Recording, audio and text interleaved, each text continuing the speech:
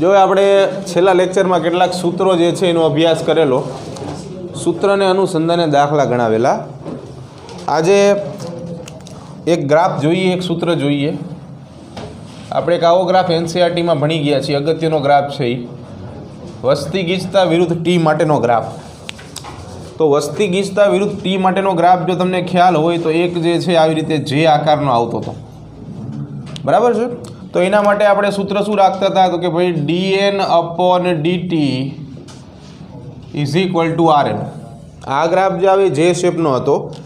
બીજો એક જે ગ્રાફ જે છે, તમને જો યાદ હોય તો આવી રીતે એસ શેપનો હતો. જેના માટે આપણે શું સૂત્ર રાખતા હતા? DN upon DT is equal to R N K minus N upon K અહીંયા ખાલી આપણે કે એક વધારે મૂકતા હતા, જેને આપણે કહેતા હતા વહન ક્ષમતા. કે ભાઈ કોઈ પણ નિવસન તંત્ર કે કોઈ પણ જૈવ વિસ્તાર છે એ કેટલા મહત્તમ સજીવોને સમાવી શકે છે એને આપણે એને કે કહેશું, એટલે કે વહન ક્ષમતા. હવે જે પહેલો ગ્રાફ છે, જે મુજબ આપણે વાત કરી, એ જે આકારનો ગ્રાફ છે, કેવા આકારનો? જે આકારનો ગ્રાફ છે. અને આ બીજો જે રહ્યો એ એસ આકાર કે જેને બીજે શબ્દમાં આપણે સિગમોઇડ તરીકે ઓળખતા હતા. તો સિગમોઇડ અથવા તો એસ આકારનો ગ્રાફ થશે. હવે બેયની લાક્ષણિકતા શું છે? જે આકારનો ગ્રાફ આપણને અડધો આપ્યો છે. એ આખો ગ્રાફ આપણે વિચારીએ ને, તો એ આમ થાય. એટલે કહેવાનો અર્થ એવો થાય કે શરૂઆતમાં ઝડપથી વધારો થાય. નિવસન તંત્રની અંદર શરૂઆતમાં શું હોય તો કે જે આકારના ગ્રાફ માટે વાત કરીએ. તો જે આકાર માટે શરૂઆતના તબક્કે સ્ત્રોતોની સંખ્યા ઘણી બધી વધારે હોય અને સજીવોની સંખ્યા એની સાપેક્ષે ઓછી હોય. એટલે કે બધા સજીવને પૂરતી માત્રામાં સ્ત્રોત મળે. બરાબર? એટલે ઝડપથી વૃદ્ધિ પામશે. હવે સજીવ જે છે એ દ્વિગુણની ક્ષમતા ધરાવે છે. જે મુજબ આપણે રાજાને પ્રધાનવાળી વાત કરી હતી, બરાબર? કે એક એક ખાનામાં બબે દાણા મૂકવાના પહેલાંમાં બે મૂકો, પછી એના ડબલ મૂકો, એમ કરતાં કરતાં આગળ જતું જવાનું. પછી શું થાય? ધીરે ધીરે એક એવો સમય આવી જાય કે જ્યારે આ આખી આખી ક્ષમતા મહત્તમ થઈ જાય. એટલે એન મહત્તમ થઈ જાય મેક્સિમમ એટલે વસ્તી જે છે એ મેક્સિમમે પહોંચી જશે, વસ્તી ગીતતા એન અને એના માટે અડધો સમય લાગેલો છે. તમે જોઈ શકો છો. આટલો સમય. પછી શું થાય છે? તો કે જેમ જેમ સજીવોની સંખ્યા વધતી જાય છે, તો બીજા નંબર ઉપર સ્ત્રોતો હવે ઓછા થઈ જાય છે સજીવોની સંખ્યા કરતાં. એટલે હવે બધા સજીવોને તો સ્ત્રોતો મળે નહીં. એટલે ધીરે ધીરે ધીરે કરતી કરતી શું થાય છે? વસ્તી ઘટતી જાય છે. એસ આકારમાં શું છે? એસ આકારમાં શું છે? તો કે ધીરે ધીરે શરૂઆતમાં ધીમી વૃદ્ધિ થાય. પછી થોડીક એવરેજ એટલે વધે. પછી અતિશય વધે. અને આ કન્ડિશનમાં સ્થાયી વસ્તી થઈ જાય. એટલે કે સંતુલન અવસ્થાએ પહોંચી જાય. સંતુલન અવસ્થાએ પહોંચવાનું કારણ છે. કે વહન ક્ષમતા. હવે એની કેપેસિટી આવી જાય ને, કેટલાને પછી સમાવે? એક બેચની અંદર ત્રણ જણા બેઠતા હોય, બરાબર? હરખા હરખા હટ્ટા કટ્ટા હોય તો બે જ બે કે પછી તમે અહીંયા ચોથો મૂકો તો એની કેપેસિટી આવે ને, પછી નટબોલ્ટ બહાર આવી જાય. એના જેવું કામ આમાં થાય. એટલે કેપેસિટીની બહાર નહીં જવાનું. હવે એક છેલ્લું સૂત્ર જોઈએ. કાંઈ વાંધો નહીં, અહીંયા ધ્યાન આપો. N T plus one is equal to N T plus B plus I minus D plus E જો, હવે વસ્તીની જ્યારે આપણે વાત કરી છીએ, તો વસ્તીને અસર કરતા મુખ્ય ચાર પરિબળો છે. એમાં સૌથી પહેલાં આપણે વાત કરશું જન્મનો દર, કે જેને આપણે નામ આપશું બર્થ રેટ, પછી આવશે મૃત્યુ દર, એટલે કે ડેથ રેટ, પછી આવશે અંતઃ સ્થળાંતરણ એટલે કે જેને આપણે આઈ કહેશું અને પછી આવશે બહિર સ્થળાંતરણ કે જેને આપણે ઈ કહેશું. જન્મદર જે છે એ હંમેશા વધારો કરે મૃત્યુદર ઘટાડો કરે, અંત સ્થળાંતરણ વધારો કરે બહિર સ્થળાંતરણ ઘટાડો કરે. ઉપર જે સૂત્ર આપણને આપ્યું છે એ સૂત્ર દ્વારા આપણે શું સમજી શકાય? કે તમને કોઈ ચોક્કસ વર્ષની, વસ્તીની સંખ્યા આપી હોય તો તમે એના પછીના વર્ષની વસ્તીની સંખ્યા શોધી શકો જો તમારી પાસે આ ચારે ચાર ઘટકો હોય તો. એક ઉદાહરણ આપણે લઈએ કે આવો એક દાખલો તમને આપ્યો હોય કે વર્ષ બે હજાર અને અઢાર દરમિયાન કોઈ ચોક્કસ વિસ્તારની કોઈ ચોક્કસ વિસ્તારની વસ્તીની સંખ્યા બે હજાર છે. સોરી બે હજાર હતી. ભૂતકાળની વાત છે. બરાબર? આ વિસ્તારમાં આ વિસ્તારમાં આ વર્ષ માટે વીસ બાળકો જન્મ પામ્યા. દસ વૃદ્ધોએ જિંદગીનો અંત કર્યો. એટલે દસ વૃદ્ધો મૃત્યુ પામ્યા. પછી અમુક એવા હોય જે રહેવા આવે. તો ભાઈ પાંચ વ્યક્તિઓ અહીં વસવા માટે આવ્યા પોતાના સપનાઓ સાકાર કરવા માટે. થોડુંક વધારે થઈ ગયા. સપના સાકાર કરવાવાળા વ્યક્તિઓ વધારે હોય. પંદર કરી નાખી. દસ લોકો આ વિસ્તાર છોડીને ચાલ્યા ગયા. આમના સપના તૂટી ગયા હતા એટલે. તો બે હજાર ઓગણીસમાં આ વિસ્તારની વસ્તી શોધો.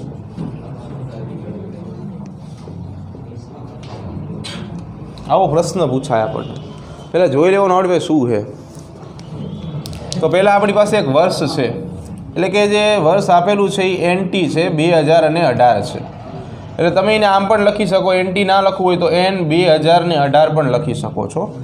એની વસ્તીની સંખ્યા આપણને આપી દીધેલી છે કે ભાઈ એન ટીની સંખ્યા જે છે, એ બે હજાર છે. કેટલી છે? બે હજાર. વિસ્તારમાં વર્ષ માટે વીસ બાળકો જન્મ પામ્યા છે, તો એના માટે બી કહેવાય. એના માટે વીસ આવશે. દસ વૃદ્ધોએ દુનિયા છોડી છે, તો દસ આવશે. પંદર નવા વ્યક્તિઓ જે છે એ વસવાટ અર્થે આવ્યા છે એટલે આઈ બરાબર પંદર આવશે. અને દસ લોકો જે છે એ આ વિસ્તાર છોડીને ગયા છે એટલે દસ આવશે. તો આપણે શોધવાનું છે એન ટી પ્લસ વન અથવા તો એન બે હજાર ઓગણીસ શું થાય? તો ચાલો આપણે એન બે હજાર ઓગણીસ જોઈએ. એન બે હજાર અઢાર વત્તા B plus I minus D plus E ચાલો, બે હજાર અઢાર, એટલે એની અંદર હતી સંખ્યા બે હજાર. પ્લસ બી હતું વીસ. પ્લસ આઈ હતું પંદર. માઇનસ ડી હતું દસ. પ્લસ ઈ હતું દસ. દસ કદમ ચાલો, બે હજાર વત્તા પાંત્રીસ માઇનસ વીસ. કોઈ કેલ્ક્યુલેટર ન કાઢતા? બે હજાર વત્તા પંદર. એટલે જવાબ આવ્યો બે હજાર ને પંદર. તો આટલી વસ્તી હવે હશે. બરાબર? સરસ મજાના અક્ષરે લખી નાખ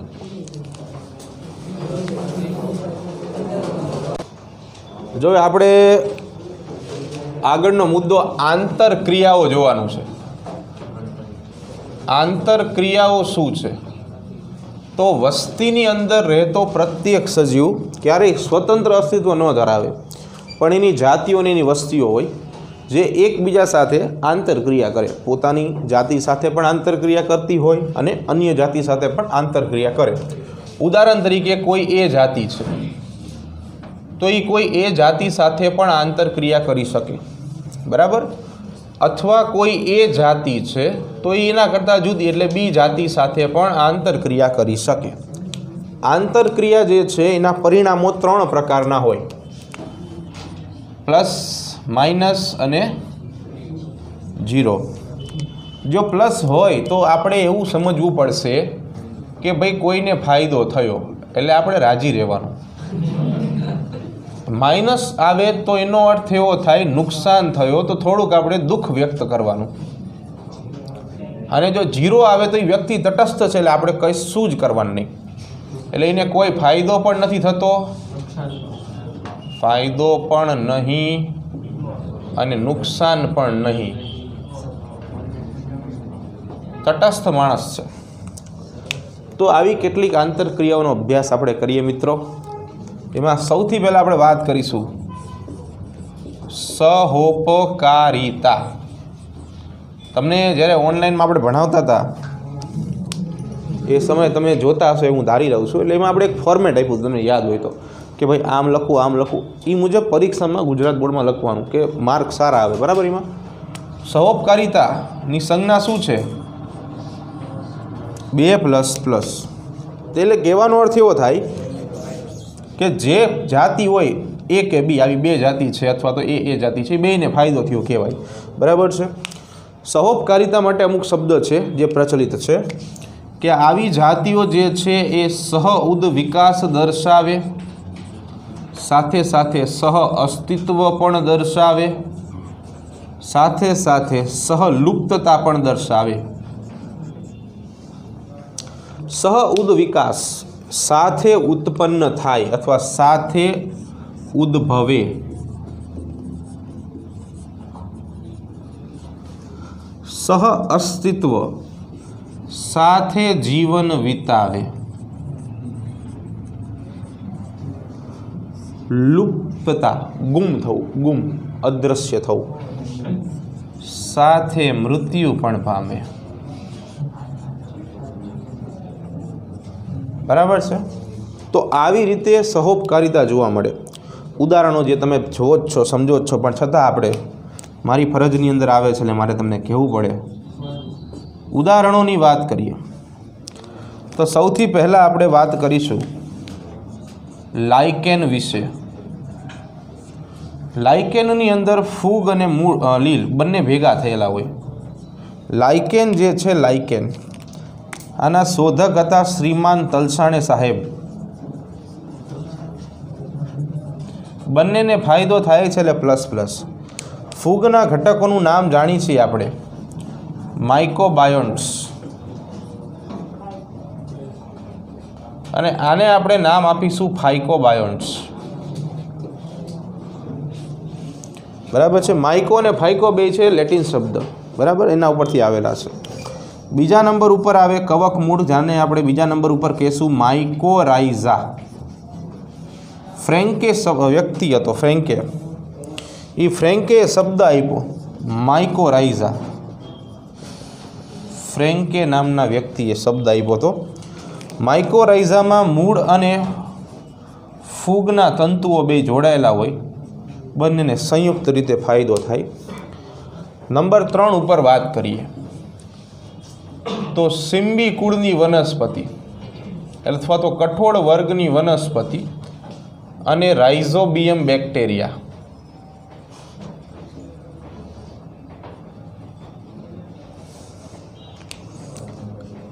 સિમ્બી કુળની વનસ્પતિ, કઠોળ વર્ગની વનસ્પતિ રાઇઝોબિયમ બેક્ટેરિયા નાઇટ્રોજન સ્થાપક બેક્ટેરિયા છે. બેયને ફાયદો થાય સાથે રહેવાથી. બરાબર? નંબર ચાર. પરાગવાહકો અને વનસ્પતિઓ. પરાગવાહકોની અંદર અત્યાર પૂરતું આપણે વાત કરીશું કેટલાક કીટકો વિશે. બરાબર છે? પરાગવાહકોને પણ ફાયદો થાય, વનસ્પતિઓને પણ ફાયદો થાય. તો અત્યાર સુધી આપણે જે વાત કરી છે એમાં ફાયદો થાય. અંજીર અને ભમરાઓ કે ભમરીઓ? અંજીર અને ભમરીઓ. બરાબર? અંજીર ઘણું બધું ફાયદારૂપ બને છે ભમરીઓ માટે. અને ભમરીઓ પણ ઘણી વખત ફાયદારૂપ થાય છે પરાગનયન કરવા માટે. હવે આમાં શું છે કે જનરલી આપણે એમ કીધું કે બેયને ફાયદો થાય. પણ જે રીતે દુનિયામાં દગાખોરો પડેલા છે, એવા અહીંયા પણ દગાખોરો છે. તો જે દગાખોરો છે એ શું કરે છે? તો કે ભાઈ આવિષ્કાર જે છે, આ બધી વસ્તુ જે છે એ લઈ લે છે રિવોર્ડ્સ લઈ લે છે. પણ એવોર્ડ્સ નહીં આપે. તો એવા દગાખોરો વિશે આપણે વાત કરશું. તો ભૂમધ્ય સામુદ્રિક. ઓર્કિડ છે એ આવું કરે. જેને આપણે ઓર્કિડની અંદર જોવા મળશે કૂટ મૈથ્યુન ઓર્કિડ પોતાની એક પાંખડી જે છે, એને રૂપાંતરિત કરશે માદા મધમાખી જેવી.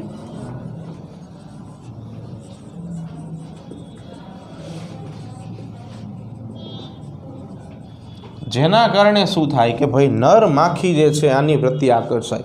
જેવી નર માખી આવશે, ભેગી ઓર્કિડ પોતાની પરાગરજ છોડશે, જે નર માખી ઉપર ચોંટશે અને આ નર માખી આ ફૂલમાંથી બીજા ફૂલમાં જાય, એટલે પરાગરજનું વહન થાય, એટલે કંઈ પણ રિવોર્ડ આપ્યા વગર ઓર્કિડ જે છે બધું કામ કરાવી લેશે. નંબર બે ઉપર વાત કરીએ કોમ્પિટિશન સ્પર્ધા. સ્પર્ધામાં બેને નુકસાન જ થાય, એટલે બાજવાનું નહીં ભાઈ. ગોસ નામનો વૈજ્ઞાનિક હતો. ગોસે જે નિયમ આપ્યો હતો, ગોસનો સ્પર્ધા નિષેધનો નિયમ.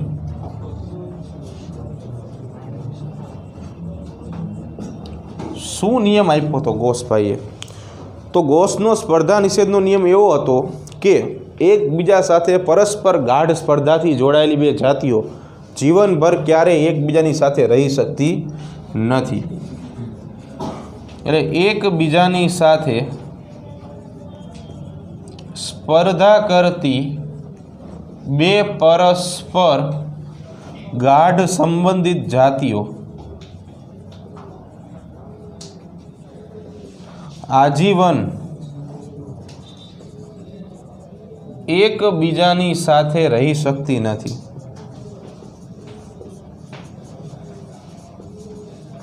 આવું ગોસભાઈએ કીધું હતું બીજી એક વાત અગત્યની. સ્પર્ધાના બે પ્રકાર છે જે તમે જાણો જ છો. સ્પર્ધા. સ્પર્ધાના છે બે પ્રકાર. પહેલો પ્રકાર જે છે એ છે અંતઃજાતીય સ્પર્ધા.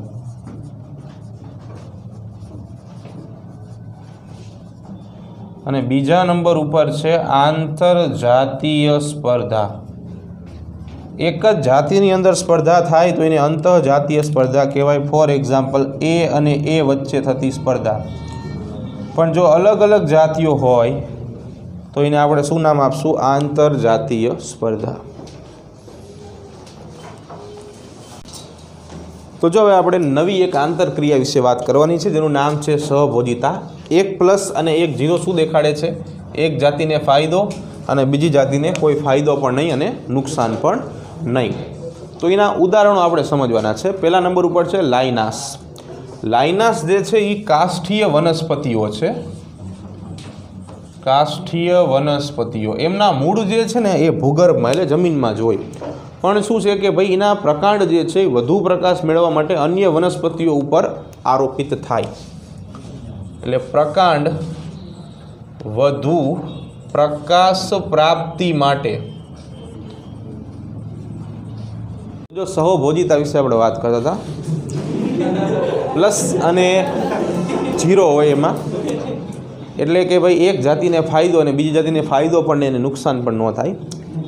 લાઇનાસ પ્રકારની વનસ્પતિ, કાષ્ઠીય વનસ્પતિઓ છે. જેનો મૂળ જે છે એ ભૂગર્ભમાં જ હોય, જમીનમાં હોય, પણ પ્રકાંડ વધુ પ્રકાશ પ્રાપ્ત કરવા માટે અન્ય વનસ્પતિ ઉપર જોવા મળશે. એટલે અહીંયા શું થયું કે લાઇનસને પ્રકાશ મળ્યો, એટલે એને ફાયદો થયો. પણ ઓલી વનસ્પતિને નુકસાન પણ નથી થતો અને ફાયદો પણ નથી થતો, એટલે જીરો. પરરોહી વનસ્પતિઓ. સામાન્ય શું છે કે ભાઈ પરરોહી વનસ્પતિઓ અન્ય વનસ્પતિઓ ઉપર આરોપણ કરે. એમાં અત્યારે આપણે વાત કરવાની છે ઉષ્ણકટિબંધીય વરસાદી વનસ્પતિઓ જેનું ઉદાહરણ છે ઓર્કિડ અને કેટલીક મોસ. ઓર્કિડ ઉપર મોસ જોવા મળે. ઓર્કિડને કોઈ ફેર ન પડે, પણ મોસને શું થાય? ફાયદો થાય. ઓર્કિડ ભાઈ શૂન્ય ઉપર છે, મોસ એક, પ્લસ. પરરોહી પ્રાણી, અન્ય પ્રાણીઓ ઉપર રહેતા હોય. ઉદાહરણ તરીકે ચૂસક માછલી એકિનેઇસ કે જે શાર્ક ઉપર રહેશે. એનો શું ફાયદો? ચૂસક માછલીને શું થાય? કે ભાઈ અન્ય પ્રાણીઓ જે છે એને ખાઈ જાય નહીં. શાર્કને કોઈ ફેર પડે નહીં. પાઇલોટ માછલી. પાઇલોટ માછલીનું એવું કામ છે, એ શાર્કની સાથે ચોંટેલી રહેશે, જેના કારણે અન્ય પ્રાણીઓથી બચી શકે. એટલે એને ફાયદો થાય, શાર્કને કોઈ ફેર પડે નહીં. ક્લાઉન માછલી, નાની એવી માછલી, રંગબેરંગી માછલી હોય પ્રાણીઓથી બચવા માટે એ સમુદ્ર ફૂલની અંદર છુપાઈ જાય. સમુદ્ર ફૂલ પાસે ડંખાકીકા નામની રચના છે એટલે અન્ય પ્રાણીઓ એની નજીક આવવા પ્રયાસ ન કરે. બાર્નેકલ્સ અને વહેલ. બાર્નેકલ્સ પણ એ જ કરે છે, વહેલની સમકક્ષ સોંટી જાય છે, અન્ય સજીવોથી રક્ષણ મળે. બગલો અને પશુઓ. આ થોડુંક વિશિષ્ટ કિસ્સો છે. હવે શું થાય છે કે બગલો આવા પશુઓ ઉપર બેસી જાય. એટલે પશુઓ શું? ઝડપથી ચાલે. એટલે ઝાડ પાન ઝડપથી હલાવે. એટલે જીવડા જે છુપાઈ ગયા હોય એ બધા નીચે પડે. એટલે બગલાને શું મળી રહે? ખોરાક મળી રહે. પશુઓને કોઈ ફેર પડે નહીં. બરાબર? તો કહેવાનો અર્થ એવો થાય કે સહભોજિતા એક એવી પ્રણાલી છે જેમાં એકને ફાયદો અને બીજાને શું થાય છે? કોઈ ફેર પડતો નથી. ચાલો, હવે આગળ વાત કરીએ પરોપજીવન વિશે. પરોપજીવન. તો પરોપજીવનની અંદર શું થાય? કે એક પ્લસ અને એક માઇનસ. એક જાતિને ફાયદો ને બીજી જાતિને નુકસાન થાય. અહીંયા બે સજીવો વિશે આપણે સમજવાનું છે. એક આવશે પરોપજીવી સજીવ, કે જે અન્ય સજીવના શરીરની અંદર રહીને નુકસાન પહોંચાડતો હોય, અને બીજા નંબર ઉપર આવશે યજમાન સજીવ હોસ્ટ, કે જે પોતે એના શરીરની અંદર આને આવવા દે. બરાબર છે? તો આમાં જે પરોપજીવી સજીવ છે, એને શું થશે? ફાયદો થશે. પણ જે હોસ્ટ છે એને શું થઈ જશે? નુકસાન થઈ જશે. બરાબર? હવે એમાં પરોપજીવીની વાત કરીએ, તો સૌથી પહેલાં પરોપજીવીના પ્રકારો આપણે સમજવાના છે. તો બાહ્ય પ્રાણી પરોપજીવી. એના વિશે વાત કરીએ. તો એની અંદર આવશે પશુઓ પરની જડો કે જે રુધિર ચૂસી લે જડોને ફાયદો, પશુનું લોહી જાય, નુકસાન જાય. બરાબર છે? આના સિવાય મનુષ્યની ઉપર અથવા તો મનુષ્યમાં જોવા મળતી જુઈ અને કૂતરા પરની બગાઈઓ બગાઈઓ, એને બીજા શબ્દમાં ઈતરડી કીધું છે. બરાબર? તો આ બધા બાહ્ય છે. આવી રીતે બાહ્ય વનસ્પતિ પરોપજીવી પણ હોય. બાહ્ય વનસ્પતિ પરોપજીવી. ઉદાહરણ તરીકે, લાખ કીટકો. શું નામ છે? લાખ કીટકો. બરાબર? હવે અમુક અંત પરોપજીવી હોય. અંત પરોપજીવી તો એની અંદર વાત કરીએ. કરમિયા અને એન્ટામીબા. કરમિયા એન્ટામીબા, કરમિયા જે છે, કૃમિ છે, એન્ટામીબા, પ્રજીવ છે, જે માનવમાં જોવા મળે. માનવના આંતર માર્ગમાં બીજા નંબર ઉપર આવે પ્લાઝ્મોડિયમ શીત જ્વરી જંતુ કે જે માનવના આરબી સીએસમાં જોવા મળશે. બરાબર? બીજું, અમુક ભ્રૂણ પરોપજીવી હોય. ભ્રૂણ પરોપજીવી, જેમ કે કાગડો અને કોયલ. કોયલ અને કાગડો. ઈંડા જે છે એ કાગડાના માળામાં મૂકી દે. અને કાગડો પોતાના ઈંડા સમજીને એને સેવી નાખે, બરાબર? પછી અતિ પરોપજીવી સજીવો હોય. અતિ પરોપજીવી બેક્ટેરિયા ઉપર બેક્ટેરિયો ફેઝ. બેક્ટેરિયા ઉપર બેક્ટેરિયો ફેઝ. બરાબર છે? છેલ્લે પૂર્ણ પરોપજીવી. પૂર્ણ પરોપજીવી. સંપૂર્ણ અન્ય વનસ્પતિ ઉપર આધાર રાખશે. ઉદાહરણ તરીકે અમરવેલ અન્ય વનસ્પતિ જે છે, એના પ્રકાંડ ઉપર આધાર રાખશે અને રેફલેસિયા જે છે વનસ્પતિના મૂળ ઉપર આધાર રાખશે. બરાબર? તો આ પૂર્ણ પરોપજીવી. આવા કેટલાક અપૂર્ણ પરોપજીવી આવે.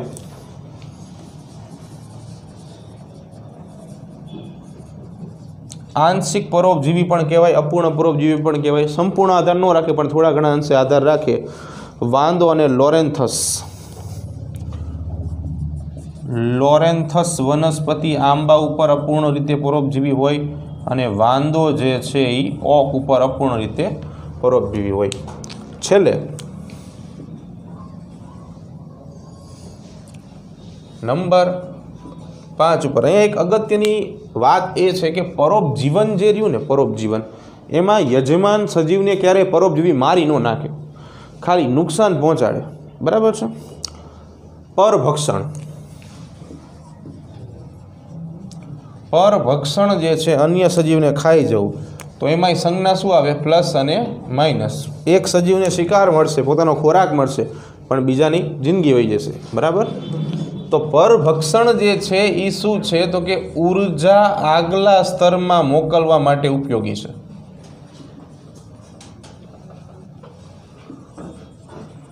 ઉદાહરણ તરીકે કોઈ તૃણાહારી વનસ તૃણાહારી સજીવ જે છે,